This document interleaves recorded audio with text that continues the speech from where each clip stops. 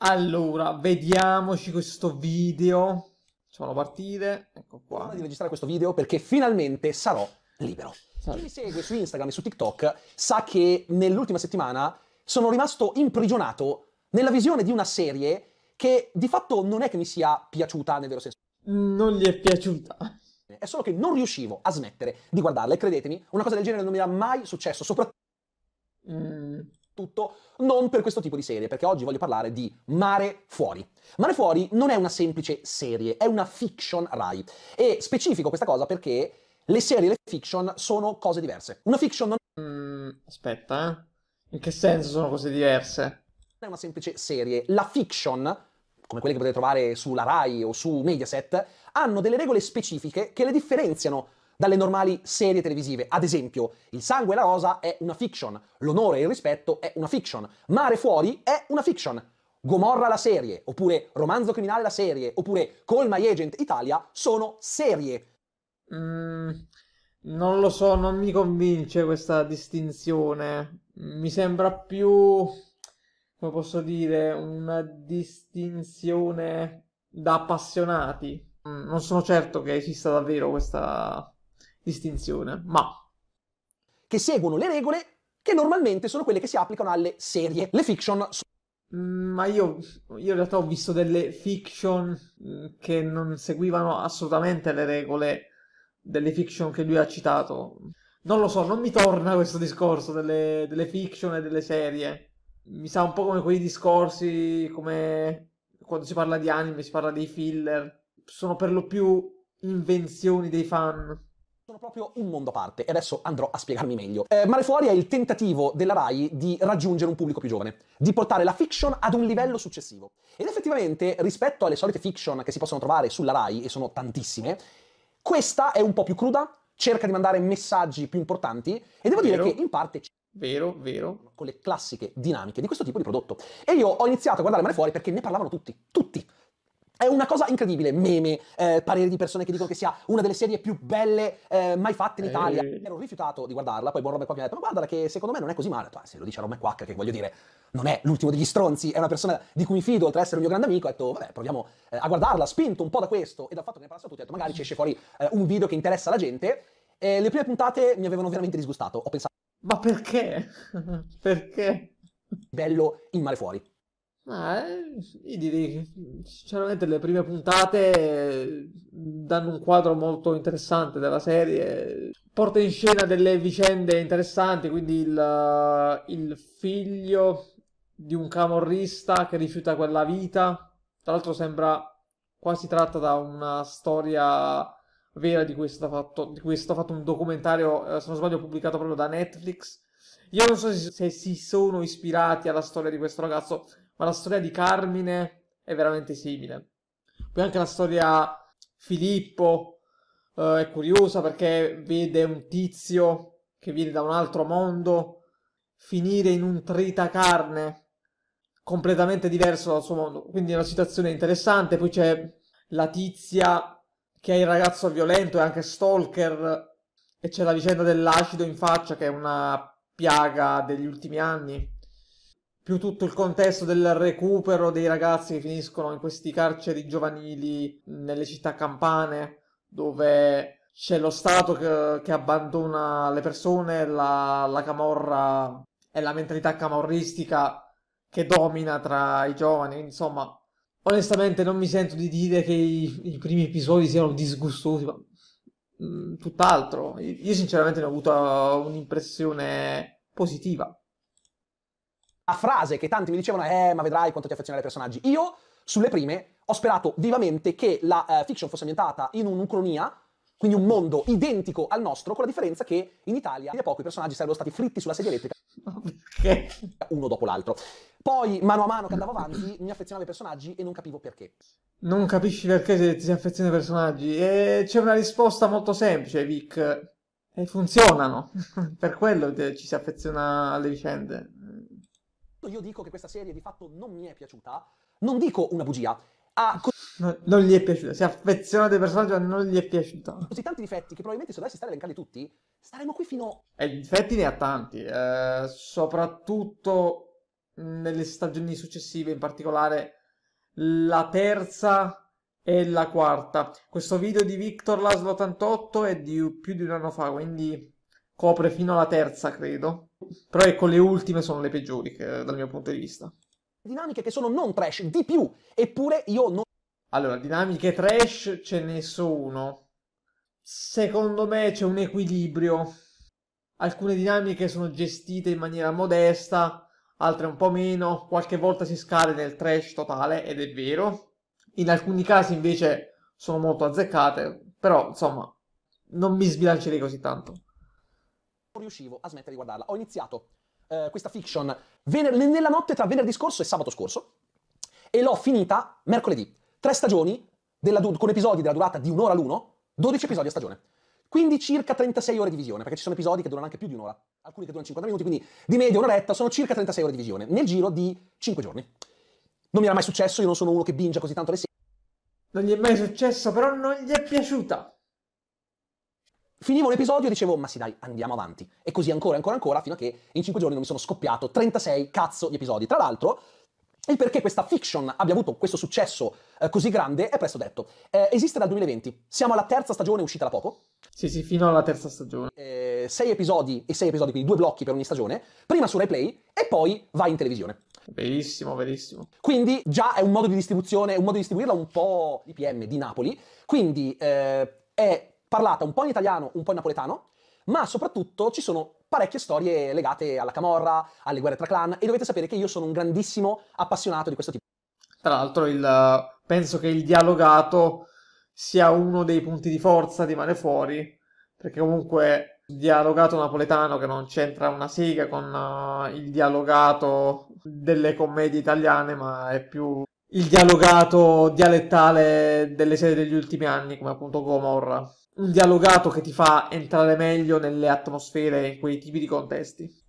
Il problema è che è tutto in salsa teen, essendo dei ragazzini in riformatorio e a un certo punto iniziano ad arrivare le, le, le cose assurde, amori improbabili. Ma scusa, eh, c'è questa fobia quando ci sono adolescenti in una serie e ci sono le vicende sentimentali, nasce questa fobia totale tra gli appassionati, non, non ho mai capito perché. Se i protagonisti sono adulti, tutto bene. E ci sono le vicende sentimentali, tutto bene. Se i protagonisti sono bambini e ci sono le vicende sentimentali, tutto bene. Se ci sono gli adolescenti, no, trash e teen. Questa cosa non l'ho capita, sinceramente. L'espressione teen non significa niente. Non sapete quante volte io ho sentito persone additare delle serie eh, negativamente usando l'espressione teen. Sì, ma è troppo teen. Ma che cazzo vuol dire? A fare roba per i giovani, ma sono incatenati ad un sistema di narrazione che è fatto proprio male, perché la fiction ha delle sue regole, come dicevo prima. Ad esempio, se io iniziassi a raccontare ed è successo perché la Svetta ha visto un paio di puntate con me e poi ha detto: Ma guarda, sta roba mi piace. Ho detto: Vabbè, no, ci sta, io devo fare il video. Quindi mi sono messo a guardare più che altro per quello. Ah, è per fare il video che raccontava, non perché gli piaceva. Eh, eh, eh, eh, raccontando una valanga di avvenimenti che sono tutti ficcati in una sola puntata come se fosse un armadio troppo stretto e avessi una, una montagna. Questo è vero. Di vestiti appena, appena eh, tolti dallo stendino da ritirare. È, è una roba allucinante. Le fiction sono così. In ogni. Verissimo, è verissimo. Però va detto, almeno secondo il mio punto di vista, che Mare Fuori offre delle sottotrame con un po' di criterio, quindi non, non troppo a caso come in suscitate serie come Il sangue e la rusa e così via puntata succedono tante cose, tutte improbabili, e si chiude... Tutte quindi... improbabili! Voglio sapere quali sono queste cose improbabili. Didascalico, che però, proprio per questo, ti mette voglia di guardare l'episodio successivo. Ed era così. Io finivo di guardare un episodio e dicevo, basta, sono le 4, devo andare a letto. Cliffhanger. Eh, ma voglio... Se una serie ti spinge, ti prende, ti spinge a guardare l'episodio successivo, significa che funziona. E non ci stanno altre spiegazioni maledetta. È un, è, un, è un, anatema, non è una fiction, è un cazzo di anatema, vi giuro. È qualcosa di abbacinante. Proprio perché ha questa struttura con personaggi che non sono scritti male in sé, ma sono messi in scena male. Il problema è che dopo... Ma secondo me dipende dai casi. Delle volte sono messi in scena non tanto bene, delle volte bene, a volte anche molto bene, secondo i casi. Vabbè. Qualche episodio io, sono, io ho iniziato realmente ad affezionarmi a questi personaggi. Non riuscivo a non voler loro bene. Nonostante facessero e dicessero cose che mi stavano veramente sulle palle, io non riuscivo. Ma attenzione, non significa nulla. Se il personaggio dice o fa una cosa che ti dà fastidio, ma non significa che il personaggio è scritto male. Anzi, spesso è proprio quando il personaggio ti dà una reazione negativa, ti dà un'emozione negativa, è proprio, significa proprio che è scritto bene. Il personaggio non deve fare quello che vuoi tu. Il personaggio deve essere coerente con quello che viene raccontato. Deve essere funzionale con quello che viene raccontato. A prescindere che faccia cose che sposino o meno la tua etica o che sposino o meno le tue fantasie sul personaggio. A smettere di pensare cosa succederà a quello, cosa succederà a quell'altro. Tra l'altro, è una fiction. Questo succede quando una storia è scritta in maniera funzionale. Faccio un esempio. Un esempio. In Game of Thrones uh, c'è il personaggio di Tyrion Lannister. Ad un certo punto della serie, verso metà, mono spoiler, succede una cosa a questo personaggio che a me personalmente mi ha fatto venire una strizza per le sue sorti. Io ho veramente avuto paura, raramente succede quando guardo una serie soprattutto a quest'età ormai. Ho una strizza allucinante. Questo proprio perché gli episodi erano scritti benissimo, erano girati benissimo, erano recitati benissimo. La stagione successiva a questi eventi, nel giro di qualche episodio del personaggio non me ne fregava più nulla, non mi interessavano più le sue sorti, perché si era abbassato il livello chi ha seguito il Trono di Spade avrà capito di che momento sto parlando. Non ci sono altre spiegazioni cose finiscono come, come, uno potrebbe aspettarsi da questo tipo di prodotti. Ci sono tanti personaggi che muoiono e spesso muoiono anche molto male e c'è un continuo ricambio di personaggi e attori. Quindi magari... Ok, questo è vero, questo è vero, questo è molto da fiction, questo ricambio continuo di attori, spesso tra anche nel mezzo della stagione. Questa è proprio roba da fiction italiana ho capito che è scritto chiaramente da persone che sanno perfettamente quello che fanno, sono persone brave a scrivere. Vero. Ma siccome stanno scrivendo una fiction, hanno palesemente dovuto piegarsi a certe eh, dinamiche. Certe... Lo vogliono loro, la rete. Dalla produzione. Però questa è gente che si è vista tante serie. C'è una cosa nella terza stagione, sul finale della terza stagione, che mi ha fatto pensare, questi hanno visto quella serie. Cioè, ci sono dei momenti Scrubs. specifici in cui si vede che chi scrive sa quello che sta facendo. Un po' come in Boris, cioè gli sceneggiatori sono solitamente over 40, però ci hanno ficcato anche delle cose che sono obiettivamente interessanti. Ci sono alcuni ah, ecco. risvolti di trama che a me hanno sorpreso. Soprattutto ci sono certi momenti che mi hanno quasi cavato fuori la lacrima, perché sono costruiti molto bene. Quindi non posso dire che Mare Fuori mi sia effettivamente piaciuta, ma non posso... Eh, eh, eh no, eh, non gli è piaciuta. Neanche dire che non sia una serie scritta in modo che ti dia una sorta di dipendenza. Tu vuoi sapere cosa succede a quel personaggio, vuoi sapere tutto. È questo, è questo. Eh vabbè, voglio, ma se a queste condizioni non, non ti piace, mi sembra un po' strano. Poi c'è un altro grande elemento che è un vantaggio per questa fiction, che è la colonna sonora. La colonna Cazzo, sì. sonora, curata da Stefano Lentini, che è un compositore nostrano che ha lavorato anche... Ottime song, delle host uh, davvero di alto livello. Ce ne sono alcune mh, mm, che a me fanno impazzire. Possiamo dire che il cavallo da battaglia di Mare Fuori, la colonna sonora sigla che è, Omar For, che è di Stefano Lentini, cantata da Matteo Paolillo, che è l'attore che... Ehm, poi c'è Doia Mani, Stefano Lentini, bellissima colonna sonora con un piccolo difetto, che a onore del vero era anche il difetto che aveva Gomorra, ovvero hanno 3-4 brani e li ripetono all'infinito. Ogni...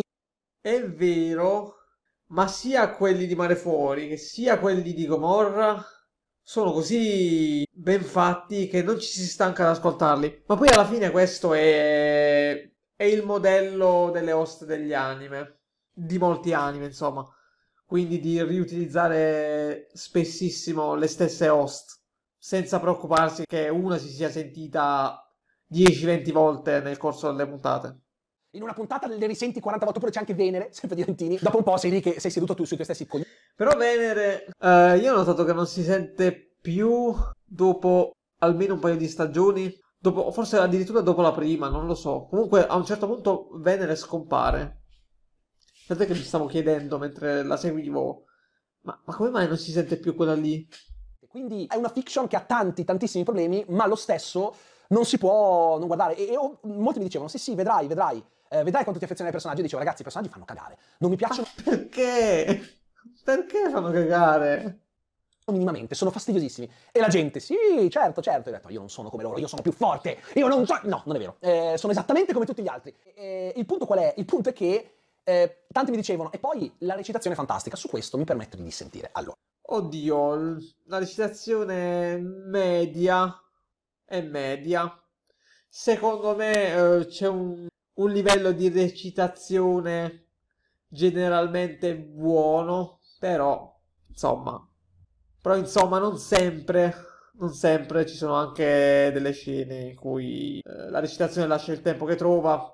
Per dire, i giovani attori secondo me sono per lo più tutti bravi, però si vedono i limiti in alcuni punti. ma, mm, ci sono alcuni che non mi sono dispiaciuti, tipo quello che interpreta Beppe, quello che interpreta il comandante, la Crescentini che interpreta...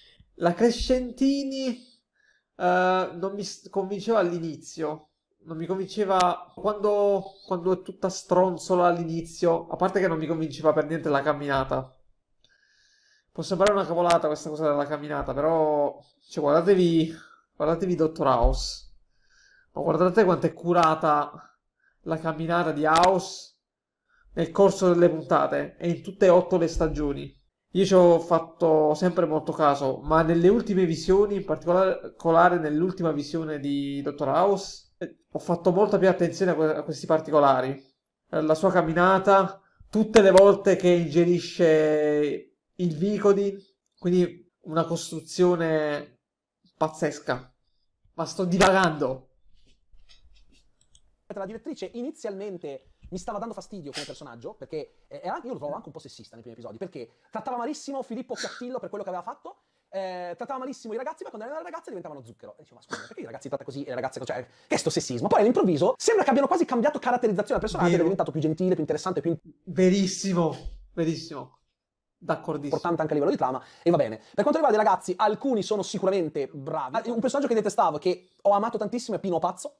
Sì, eh, Pino- ma, ma non è che, almeno per come la vedo io, non è che Pino è un personaggio de- detestabile, nel senso, o meglio, è detestabile che ti viene da odiarlo, ma in senso positivo, cioè nel senso che il personaggio eh, è funzionale. Un po' come riusando analogie con il Trono di Spade, eh, Joffrey. Lo abbiamo odiato tutti, ma l'abbiamo odiato tutti proprio perché era fatto bene. Vabbè, Pino non è a, a livello di Joffrey, però per capirsi, A me, per quell'attore che interpreta Carmine, recita bene quando vuole lui. anche qui sono stra d'accordo. La terza stagione si vede proprio che gli hanno detto devi fare questo, devi, devi avere questa caratterizzazione qui e gli ha messo la cosa della che offre le caramelle. È vero. Nella terza stagione, mamma mia, c'è stata una scena di Carmine che mm, ho gli incubi ancora. E quella scena dove fa così con le braccia per sfottere Sofia Ricci te- è terribile, E poi, eh, cioè, quella che interpreta Nadizia è molto brava. Eh, vero? eh, ad esempio, tutti erano pazzi per il personaggio di Viola. Per me Viola è un personaggio che non ha mai avuto granché senso e Personaggio che non lo so, sembrava che gli dovessero dare una parte importante, ma poi boh, non- se la sono persa di strada. dicono tutti attrice bravissima, secondo me no. Tra l'altro non sono riusciti minimamente a, a far intendere perché il personaggio fosse temuto da alcune detenute. Non è che io l'abbia capito. Per cui sì, ci sono alcuni attori che sono bravini, tipo, per me il più bravo è quello che interpreta Ciro Ricci.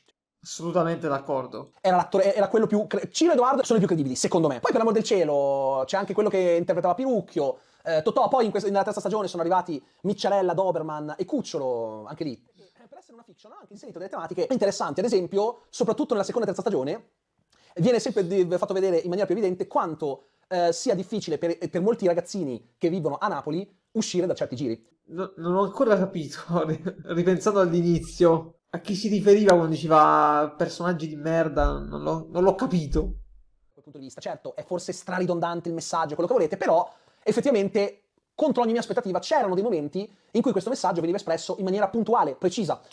effettivamente. E poi anche tutta la questione delle guerre tra clan, quella è fatta veramente, secondo me, in maniera, ma, ma davvero didascalica, davvero eh, clichettosa, in una maniera... Mm, sì, anche perché la situazione diventa abbastanza irrealistica a un certo punto, soprattutto quando ci vorrebbero far credere che personaggio X, adolescente, eh, in galera, debba avere il controllo del clan all'esterno, è abbastanza assurdo.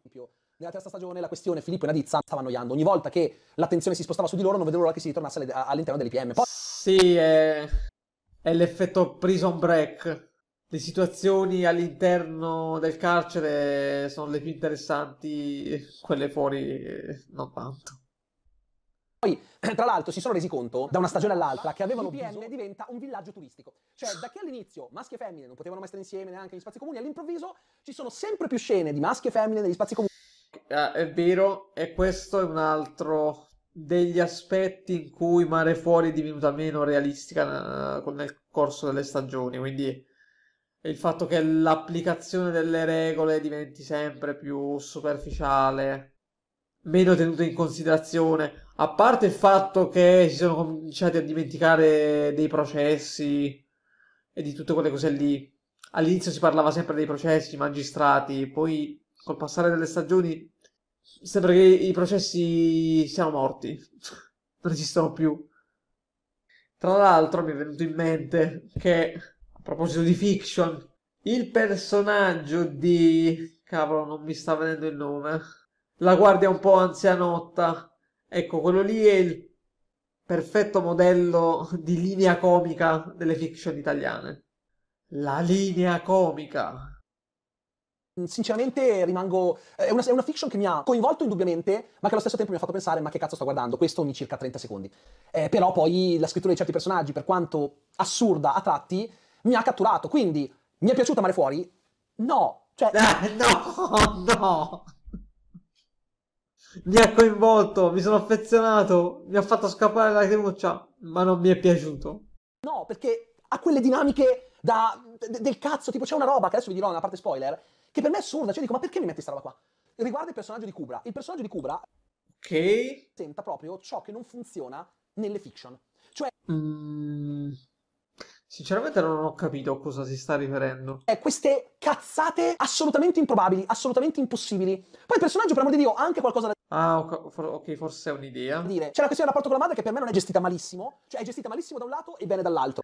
È incredibile come Victor Laszlo 88 ogni volta che è sul punto di distruggere Mare Fuori, poi però si ferma e lima la sua critica perché in fondo non è così male. È sincero. Per questo ci piace. Però non gli è piaciuta. Serie che se voi non guardate fiction, iniziate pensate che merda al primo episodio, che merda al secondo, che merda al terzo, che merda al quarto. Io sinceramente non la condivido questa, questa sua osservazione perché secondo me i primi episodi funzionano. Io dico la verità, sono rimasto molto convinto dall'apertura della serie. Anzi, secondo me la, la prima stagione è, la migliore, perché è quella più realistica, anche più riuscita. Che ve ne rendete conto, siete al sesto episodio, vi sta facendo comunque schifo. Arrivati all'ottavo episodio dite mamma mia che monnezza e mettete sul nono. In men che non si dite che dica siete a metà della seconda stagione a dire mamma che brutta, ma continuate a guardarla. Questa serie ma ragazzi, qui secondo me siamo sul mentire a se stessi. A se stessi. Cioè, se una serie vi prende, ragazzi, vi piace. Punto. Non ci si può appassionare a una cosa che non ci piace. Levatevelo dalla testa di solito nelle fiction, quando i personaggi muoiono, è solo perché l'attore o l'attrice ha deciso che non voleva più continuare. Allora magari accade l'incidente tragico, ma finché non succede quello, i personaggi li portano avanti all'infinito. Qui invece, quando un personaggio se ne va per qualche motivo, è perché la storia lo richiedeva. Ed è per questo che io dico che chi ha scritto questa serie sapeva quello che stava facendo. Semplicemente si è dovuto piegare delle dinamiche eh, che purtroppo sono molto stringenti. Però, alla fine della fiera, il risultato su certi personaggi se lo sono portati tranquillamente a casa. E questa cosa mi ha... Uh, e allora non ho capito. Io non ho capito perché diceva all'inizio che i personaggi fanno schifo. Cioè, mi sembra che bene o male li, li abbia pro- promossi quasi tutti, insomma, quelli che contano. sorpreso. Per cui è una fiction che consiglierei? Mm, no, nel senso che non voglio che altre persone cadano in questo tunnel mostruoso. Ragazzi, qua bisogna sbilanciarsi. Io la consiglio. Basta con questo snobismo dell'appassionato dell'internet. E ragazzi, se io che detesto le fiction e che non le sopporto, mi sono ritrovato a guardare in 5 giorni una serie di tre stagioni da 12 episodi l'una, tecnico, che secondo me non sono fatti così male e che valorizzano certe scene particolarmente drammatiche. Però no, non la definirei una buona regia. Diciamo che è una regia che No, rispetto al livello Media. Della fiction media è un pochino più interessante. Capisco che ci voglia poco, nel senso che la media delle fiction è talmente bassa che basta Ma sapete, qui tra Boris e un po' il fandom internettiano si è un po' creata una generalizzazione delle fiction. Cioè, spiego, quello che veniva detto da Boris e quello che è stato contestato eh, alle, fic- a- alle fiction italiane al modello era vero. Forse oggi le cose sono un po' cambiate. Però, attenzione, non è che tutte le fiction erano così. C'erano le fiction che erano diverse, non avevano quelle strutture. Faccio un esempio. Il capo dei capi non ha quella struttura. La struttura delle fiction non ce l'ha, forse in qualche piccolo frangente. Quindi, insomma, mi sembra che sia diventata una generalizzazione esagerata, benché fondata su basi solide. e so che questa fiction è un po' sopra rispetto alla media. Ma vabbè, comunque sia, questo è il discorso generale. Adesso vorrei fare un discorso un po' più spoileroso per spiegarvi alcune cose che vi ho accennato nella Ok. parte non spoiler. Quindi, Così forse capiamo quali sono questi personaggi orribili di cui parlava. Vabbè, a parte eh, ha detto Viola, però Viola non è un personaggio così importante per come l'hanno usato. Poi aveva citato Kubra, quindi sono curioso di sapere Kubra. la storia di Ciro non era male perché comunque questo ragazzo che è cresciuto nella famiglia Ricci, famiglia di camorristi, che fino a quando era bambino lo hanno educato che gli infami si ammazzano. Ecco, io credo che nella prima stagione abbiano fatto veramente un buon lavoro discorso con questo contesto tristemente realistico delle famiglie camorriste, eh, dell'onore e tutte queste cose qui. Era al centro di tutto Filippo Occhiattillo, questo ragazzetto. Ehm, quindi Filippo viene chiamato Occhiattillo, che vuol dire il bravo ragazzo, e praticamente eh, inizia, inizia a venire vessato e diventa amico con Carmine. Carmine è un altro personaggio interessante perché E quindi anche Filippo è un personaggio interessante. E Carmine pure interessante. perché lui fa parte di- del- della famiglia rivale di Ricci, facendo del male Esatto. alla sua ragazza. Quindi lui è in galera perché è entrato nel sistema contro la sua volontà. Sì, sì, eh, poi ripeto, è una vicenda quella di Carmine. Non crediate che sia così realistica. Anzi, come dicevo, c'è questo documentario su Netflix basato su queste zone campane distrutte dalla camorra, in cui c'è questo ragazzo che appartiene a un nucleo familiare camorristico e non ne vuole avere niente a che fare, quindi viene disonorato dalla famiglia. eh, Quando è per strada rischia perché quelli dei clan opposti lo, lo vogliono far fuori, anche se lui non ne vuole sapere niente. Addirittura mi pare che si trasferì all'estero, perché questo voleva fare il pizzaiolo. Insomma, guardatevelo perché è veramente interessante. Poi ripeto, non mi ricordo se quelli di Mare Fuori si sono ispirati proprio a questa storia oppure se è una coincidenza, non mi ricordo. Pardo, che è un affiliato della famiglia Ricci, eh, Pino Pazzo, che è un cane sciolto, poi c'è Pirucchio, Totò, Milos. Sono tutti personaggi che comunque hanno qualcosa di interessante. Ad esempio, Pirucchio ti piacciono tutti! Quali sono i personaggi che non ti piacciono? Solo Viola. lo sfondo, fino a che non è, non è diventato uno dei sospettati dell'omicidio di Nina, la neomoglie, quindi di Carmine. Poi si scopre che è stato Totò, cioè tutta quella parte della seconda stagione eh, dell'investigazione su chi è stato è abbastanza ridicola, però Vero, ok, sono d'accordo. Qui diciamo vengono anche usati i classici cli- cliché delle serie. Attenzione, non necessariamente serie italiane, eh, lo- ste robe le, le vedo anche nelle serie americane. Quindi c'è tipo il tizio che dice: Ho un amico che lavora lì e mi deve un favore. Quindi ci sono questi cliché assurdi, queste soluzioni facilone. Diciamo che sono soluzioni che comunque giustificano quanto stai vedendo, quindi, eh, quindi le cose tornano, ma lasciano il tempo che trovano. perché tutti pensano che sia stato Gaetano o Pirucchio e in realtà è stato Totò. Ma anche il fatto di Totò che si rende conto solo che quello che Filippo non riesce a fare questo ai suoi genitori, dice al padre cosa è successo, il padre dà fuoco alla macchina facendo finta poi che gliel'ha rubata. E quindi ha fottuto il padre che poi scompare, il personaggio del padre scompare completamente da mare fuori. Questo è un altro elemento che secondo me ha indebolito il personaggio di Filippo, perché sono andati a tagliare tutto ciò che era uh, esterno alla sua vita nel carcere.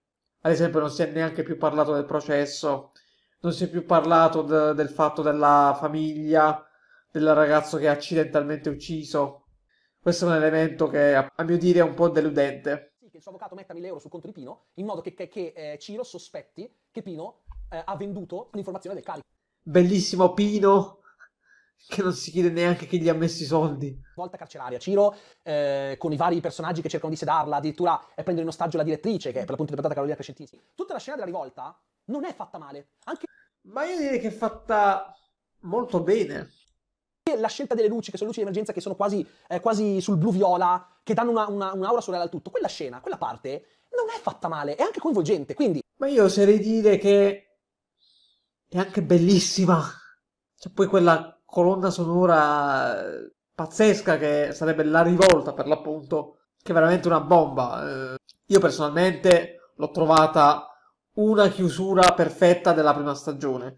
Attenzione, mi riferisco però uh, alla scena della tutta la parte della rivolta in prigione, non al finale vero e proprio uh, dell'episodio finale della prima stagione, che anzi quello secondo me è un, è un gradino indietro, cioè quando gli uomini di Valletta vanno a uccidere Carmine, quella è una roba un po' così.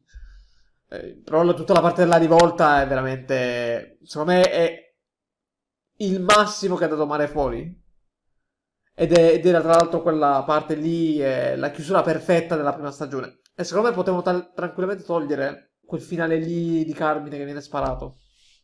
Eh, che Ciro sta per ammazzare Carmine, ma Occhiattillo lo pugnala col cacciavite e dice questa scena, questa scena mi è piaciuta molto perché è Ciro che dice eh, dite a mio padre che io non ho tenuto, non tenevo paura, però poi in realtà si mette a piangere, chiama, dice non voglio morire, non voglio morire, muore. Quindi io mi sono rimasto, sono rimasto anche piuttosto sorpreso.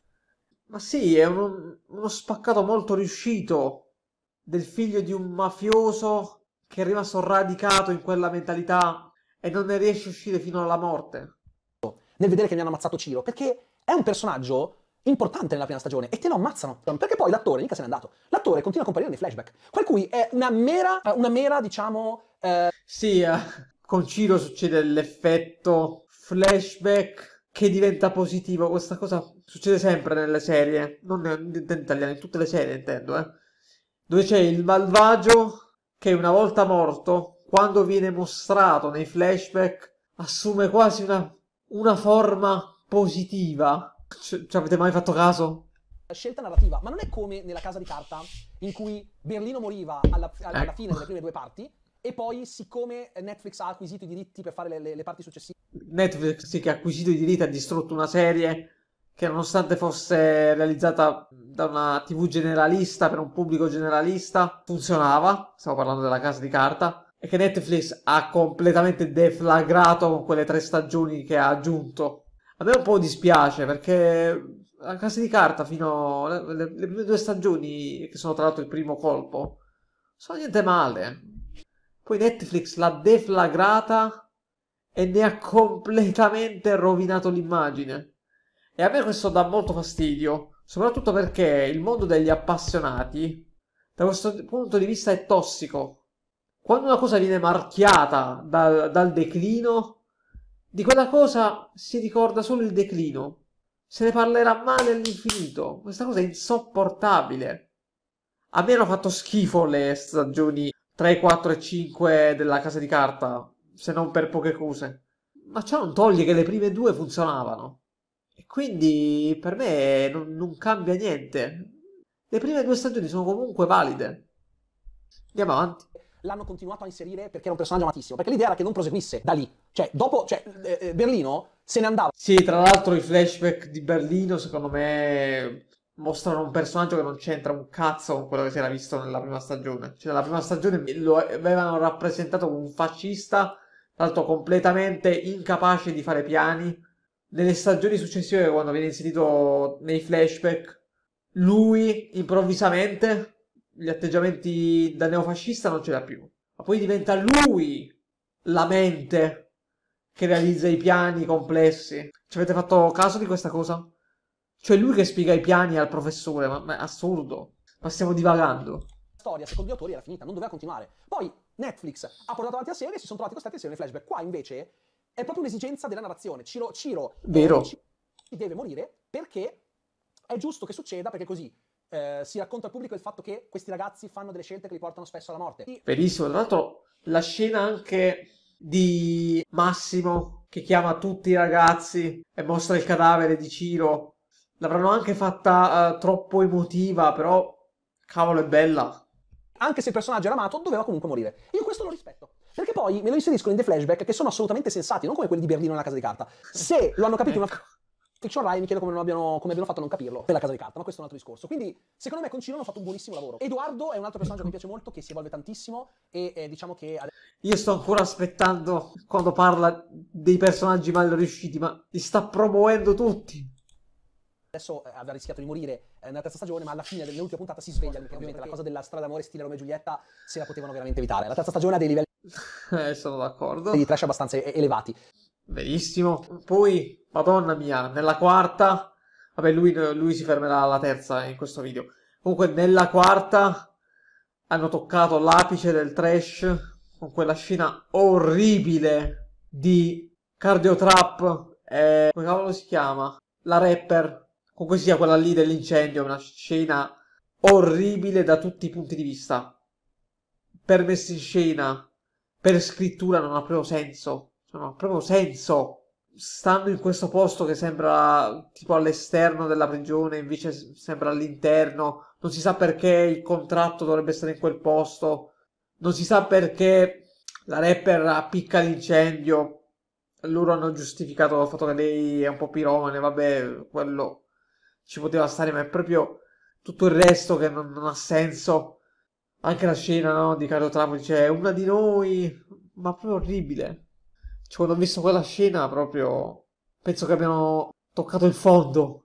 Fermo restando che io, eh, a me Mare Fuori piace, e la seguo con molto piacere, anche fino, anche la quarta, eh. Boh, Cioè, il Chiattillo torna a essere un personaggio interessante quando verso la fine della terza stagione torna all'IPM. È vero. Quando Nadizza, per salvarlo, perché ha capito che lui stava prendendo una brutta china, se stava fuori con lei, se ne va, lo abbandona, lui torna all'IPM, ed ecco che torna a essere un personaggio interessante. Purtroppo Chiattillo e Nadizza hanno avuto una fine indegna, nel senso, mi sto riferendo alla scena in cui il Chiattillo se ne va. Oh, aspetta, ma probabilmente ci arriverà lui. Momento, vediamo.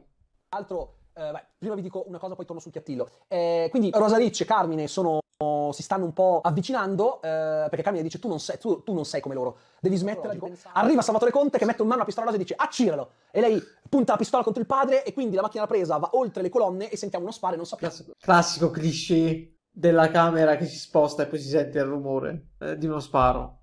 cosa è successo. Questa è una, è una tresciata mostruosa. Concordo. E nel frattempo è cambiata la direttrice. Paola viene sostituita da Sofia, che è questo nuovo personaggio, che è un agente di polizia che si era infiltrato sotto copertura fingendosi un educatore. E questa arriva e inizia, quando ci sono magari le risse tra i, tra i vari detenuti, a atterrarli con i calci volanti, li prende, gli spacca la faccia contro il, contro il tavolo. E io quando ho visto questa ho detto, ma questa che cazzo è Chuck Norris in gonnella? Ma che Sembra un personaggio di Riss. è? Un personaggio Pinucchio vede la morte in faccia e quindi dice, io non voglio morire. Lui viene da una famiglia normale, eh, e pensa che i suoi genitori siano normali, sta per ammazzarlo, però si rende conto che vuole uscire da quella vita. Quindi riesce a farsi assumere in una pizzeria, ed è anche bravo a fare le pizze, tra l'altro. C'è il pizzaiolo, che è un altro comic relief. Guardo intanto ha preso il comando per dopo che è morto Ciro, vuole a tutti i costi Copirucchio, ammazzi Mimmo, che è un personaggio che viene introdotto poi dopo. Mimmo è un nome molto famoso qui a Taranto. Eh, mi ha stupito sentirlo in una serie napoletana.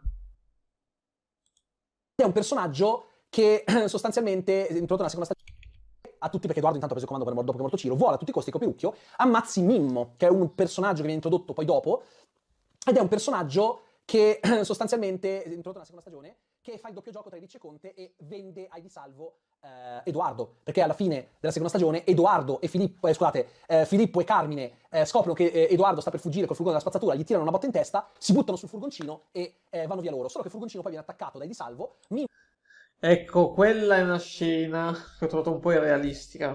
Cioè, mi riferisco a Chiattillo e Carmine. Perché, cioè, questi qua erano spaventatissimi, no? Quando Edoardo cerca di ucciderli. Era molto realistica, infatti, la scena. Qui invece vengono sparati mentre sono nel fur- furgone e dopo due secondi ridono. questo è proprio l'esempio uh, di perdita di realismo di una serie.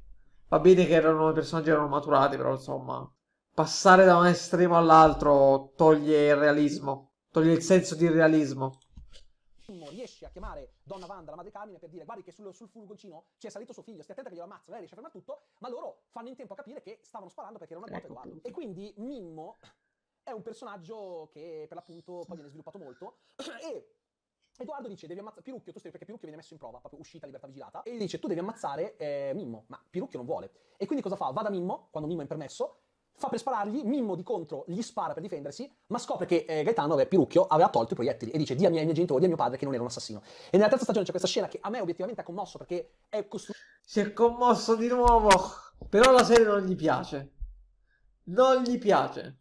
Con Mimmo che quando i genitori di Pirucchio arrivano dicendo che hanno creato una onlus per aiutare i ragazzi in difficoltà ad abbandonare la strada della camorra, della mafia, della, della strada, lui dice vi devo parlare spiega che... Eh, insomma, io l'ho trovata un po' una ripetizione quella scena. Mi è sembrata la ripetizione di una scena precedente in cui i genitori di Pirucchio vanno nel carcere. C'era stata quella scena, a mio dire, troppo emotiva, ma comunque... Vabbè ha sparato per difesa, non voleva ucciderlo, non avrebbe mai voluto farlo, e ha detto, eh, vostro figlio ci teneva sapere È forte perché Pirucchio era un personaggio che poteva dare ancora Vero. qualcosa, ma narrativamente aveva più senso ammazzarlo perché ormai aveva un po' esaurito quel tipo di funzione e la sua morte è più funzionale di quello che poteva fare da vivo il personaggio, perché la sua morte è un messaggio molto potente, niente da dire, quindi... Quindi anche, anche Mimmo e Pirucchio lo hanno convinto. Quali sono i personaggi brutti? Anche le cazzatone, ad esempio, la questione di Viola che sì, è una psicopatica che cerca di fare quanto più male possibile alle persone perché lei è... Il personaggio di Viola, al di là che come detto non è scritto benissimo, mi ricorda molto quel film spagnolo che se non sbaglio si chiama Bad Time.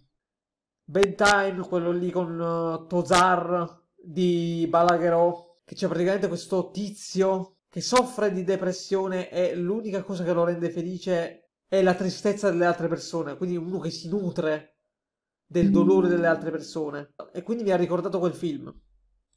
Sua migliore amica perché era felice di avere ragazzo. Cosa lì ci si, eh, si tuffa, si salva la figlia di Carmine, Viola cade, si aggrappa al cornicione e poi si lascia andare e muore. Quel personaggio per me non è mai stato sviluppato come avrebbero dovuto. Avrebbero potuto fare qualcosa Verissimo. di più con Viola e a un certo punto, secondo me, l'hanno ammazzata perché hanno capito che non sapevano più che cazzo farci. Questa è l'unica morte che secondo me non è, dota- non è dettata da una vera e propria esigenza narrativa, ma proprio dal fatto che non sapevano più cosa fare. Ho avuto la stessa impressione con quel personaggio, la stavano portando avanti sempre uguale. Arriva Gemma, che è la ragazza che eh, era bloccata Gianni, in una ovvero Cardio Trap, la crepa di mazzate, al che Gianni, che anche lui impermesso, sa di questa cosa, va all'albergo per parlare con, con uh, Fabio e iniziano a picchiarsi e ovviamente accade il dramma, Gianni lo spinge, questo vola giù dalla balaustra e si schiaccia, si schianta sugli scogli sottostanti. Quindi Cardio Trap è un altro bel personaggio perché è un eh, è un bel personaggio Cardio Trap e quindi solo Viola non, non, non gli è piaciuto. Andiamo avanti cantante che con il chiattillo compone pezzi e poi arriva però il personaggio di Crazy J che è questa trapper eh, della zona di Milano che gli fotte il pezzo con l'aiuto di una discografica che era andata lì in carcere minorile per trovare nuovi talenti. Insomma da questa breve descrizione capite qual è il grosso problema di Mare Fuori. 150 cose la metà delle quali improbabili che succedono nel giro di un episodio solo. Vabbè oddio la sottotrama di Crazy J cioè quella lì che si fotte il pezzo non mi sembra neanche così assurda è proprio una fiction, però ci sono anche delle cose interessanti, ha fatto anche cose buone, ci sono delle cose anche interessanti, cioè non si può negare che questa fiction abbia un valore, però ci sono anche delle cose, tipo la cosa di Cubra, di cui io parlavo prima. Arriva, ok, questa ragazza che ha una madre prostituta che si prostituisce sempre con questo dottore eh, che vorrebbe che ha detto che le dà una casa popolare a 100 euro al mese, ma in cambio vuole, fra, vuole, farsi anche la figlia. Quando la madre dice alla figlia che deve andare con quel dottore, lei sta tagliando il pane, si gira e la coltella. La madre però sopravvive. Ma cosa scopriamo? Scopriamo che Beppe, l'educatore, che è un bel personaggio per amor del cielo, 17 anni Anche Beppe è un bel personaggio. Era fidanzato con la madre di Cubra. Eh, eh, seguiva invece la via del figlio di papà perché Beppe è di famiglia ricca, ma non voleva seguire la tifa con Cubra. Ok, prima vediamo la tifa con Cubra, poi scopriamo che era la compagna di Beppe. E quindi Cubra è la figlia di Beppe e questa cosa dell'accoltellamento alla madre è avvenuta a Ostia e però l'hanno mandata, guarda caso, visto che ha avuto problemi all'IPM di Roma, all'IPM di Napoli, proprio dove lavora suo padre. Questa è una minchiata esagerata. Ok, vero, è vero, è vero. Ma poi ci sono anche dei change of art di certi personaggi che non si capiscono bene, tipo Pino Pazzo, inizialmente era cattivissimo, oltretutto abusa sessualmente del chiattillo, lo costringe, costringe a fargli una sega. Chiattillo di questa cosa si dimenticherà e diventerà migliore amico di Pino. Infatti, eh, anche a me ha stranito. Inoltre, mi ha sollevato il fatto che a un certo punto tra la seconda e la terza stagione si rivede un po' quel lato violento di, di Pino che era stato messo da parte. Diventa grande amico di Carmine Chiattino ed è un bel personaggio, non fosse che anche Pino è un bel personaggio. Della questione della violenza sessuale non se ne parlerà mai più. Io dico, risolvilo un minimo, facciamo finta che non è esistita. Tanto, no? Boh, oppure anche la storia d'amore di Pino con Cubra diventa un po' ripetitiva dopo un po', cioè eh, Pino con Cubra, poi, poi arriva eh, Doberman insieme a Cucciolo e Micciarella, che non sono male come personaggi. Nemmeno loro! Chi sono i personaggi brutti? Doberman è un ragazzo nigeriano, quindi come Cubra, eh, ha qualcosa in comune con lei e si vede Pino che diventa geloso. Cubra è arrabbiata perché Pino è geloso e dice fidarti di me. E poi vediamo i due che si abbracciano. Poi alla fine, però comunque, la madre di Cubra, ecco, il fatto è che eh, vediamo poi Doberman che parla con i suoi amici e dice non mi interessa se Pino e Cubra si vogliono bene. Io prima o poi Cubra me la prendo con questa, con questa faccia, questa cosa qua, tipo c'è questo personaggio che si chiama Sasa, che c'è nella seconda stagione, poi nella terza non c'è più. Io l'ho trovato, devo dire, un personaggio abbastanza interessante, se poi non compare più perché oggettivamente la sua storia si doveva concludere lì. Beh, a me è piaciuto come personaggio, mi è piaciuta pr- proprio tutta la storia. In carcere per via di eh, una violenza sessuale, danni di una ragazzina che lui dice. E c'è questa scena in cui Lino, dopo aver fatto sesso con la madre di Sasà, se ne va, è tutta sorridente. Quando Lino se ne va, c'è l'inquadratura su di lei che muta il sorriso in una smorfia eh, complottistica per far capire che in realtà ha brutte intenzioni. Eh, c'è la scena in cui si sospetta che Pirucchi abbia ucciso Nina e c'è questa inquadratura su di lui con la faccia cattiva. Delle robe di un didascalico che fanno paura, che sono tipiche delle fiction. Vabbè, dai, ma queste sono. Questi sono cliché anche molto. molto americani. Cioè, queste robe le, le abbiamo viste nelle serie americane, ragazzi. Ad esempio, io non sopporto quel cliché delle serie americane dell'inquadratura sul personaggio che si vede e poi il personaggio che sorride. Nel Trono di Spade, nelle ultime stagioni, ne hanno messe a bizzeffe di queste scene, mi, mi aveva veramente rotto il cazzo. Le trovo fastidiosissime. C'era tipo Aria che vede i draghi e poi sorride. Che cazzo ti ridi? Insomma, queste cose qui non direi che sono cliché delle fiction italiane. Sono cliché delle serie. Secondo me sono robe ereditate da, dall'America. Però intanto con questa storia di Sasà si parlano di violenza sessuale. Milos era innamorato di Luna, una ragazza trans. Peraltro, una cosa che ho apprezzato è che perlomeno ti fanno vedere un personaggio trans che non è il solito stereotipo del trans che fa la prostituta. È una ragazza che come non dargli ragione? La colpa dice, tanto io sono minorenne, vai tranquilla. Quindi è anche interessante che si parli di un rapporto tra un ragazzo, una, tra un ragazzo cisgender e una ragazza trans, senza però il solito stereotipo, capito? Hanno cercato di fare qualcosa di un po' più interessante, anche, oppure il fatto che Milos e, Cucciolo eh, iniziano a stare insieme perché eh, si trovano, non, sono due persone che hanno sempre dovuto far finta di, eh, di, di, essere eterosessuali. Quindi in un certo senso ti parla anche di questo. Non è una cosa che ti aspetteresti da una fiction Rai, mettiamola così. Quindi qualcosa di, di interessante esce uh, da, da, da, Ma nei dette 150.000 di cose interessanti. Hai fatto una montagna di cose interessanti. Ci hai costruito un albero di Natale da, da, tutto questo. Poi eh, tutta la parte di Rosa Ricci, lei che, a cui Carmine insegna che non deve eh, per forza stare dietro alla famiglia in quel modo, non è male, nel senso che alcune cose, alcuni messaggi arrivano. Anche la cosa di Nadizza, dei genitori che la vogliono, che sono eh, zingari, che la vogliono vendere per soldi al miglior offerente in matrimonio. Anche quella parte ha un suo perché, un suo quid. Quindi ci sono tante evoluzioni. Poi, per quanto riguarda la storia dei ragazzi, c'è la storia di Gemma, anche lì si parla di relazioni tossiche. Cioè, tu Gemma ti viene da dire, ma che cazzo fai? Però effettivamente è un problema spettro di molte situazioni realistiche. Ma quello che ha Gemma non è. Cioè, il fatto che, che Gemma si capisce che deve essere aiutata e non può essere aiutata lì dentro. Anche quella è una cosa sicuramente interessante. Le tematiche, le dinamiche, innova- non innovative, ma per una, fi- beh, innovative per una fiction ci sono. È una fiction che vive molto nel presente, quindi da quel punto di vista ho poco da dire. Per cui eh, potrei stare a parlare qua per ore di, di, di, di, di Mare Fuori, però penso che si sia capito qual è il punto, quali sono le luci e le numerose ombre di questa serie. Quindi non posso dire che mi sia piaciuta. Il punto è che a me sembra che ti sia piaciuta non riesce ad ammetterlo. Ma non posso neanche dire che non mi abbia coinvolto profondamente. È una fiction, l'unica fiction che nella mia vita sia riuscita a incollarmi allo schermo. Fatemi sapere quindi cosa pensate voi di Mare Fuori. Tante cose non l'ho potuto dire, ragazzi, ma perché altrimenti non finivo più. Vabbè, insomma, mi è sembrato un po' paracula questa sua video recensione, nel senso che comunque è stato onesto, è stato completamente onesto. Però non lo so, ci vedo un po' quello, quello spettro dello snobismo di appassionato Sapete, eh, anche io non amo, diciamo, il modello delle fiction in generale non, non l'amo nemmeno io. Però quando io guardo qualcosa di un mondo, un genere, di un modo di fare che solitamente non apprezzo e quel qualcosa riesce anche a colpirmi, io rimango ancora più incuriosito. Come è successo ad esempio per uh, la casa di carta per quanto concerne le prime due stagioni. Non è un genere che mi fa impazzire, quello lì della casa di carta, diciamo, più, più che altro perché ha un tono da serie generalista spagnola. Però mi ha, mi ha colpito all'inizio, fino alla seconda stagione. Quindi il fatto che non appartenga al mio mondo me lo fa apprezzare ancora di più.